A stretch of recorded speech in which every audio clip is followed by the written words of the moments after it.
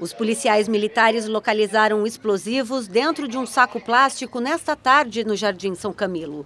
Segundo a PM, dois homens estavam em uma motocicleta em atitude suspeita. Quando foram abordados, eles conseguiram fugir. Houve perseguição.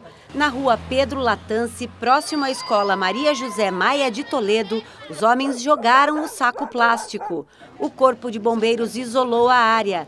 O grupo de ações táticas especiais da Polícia Militar foi chamado para detonar o explosivo. Ninguém foi preso até o momento.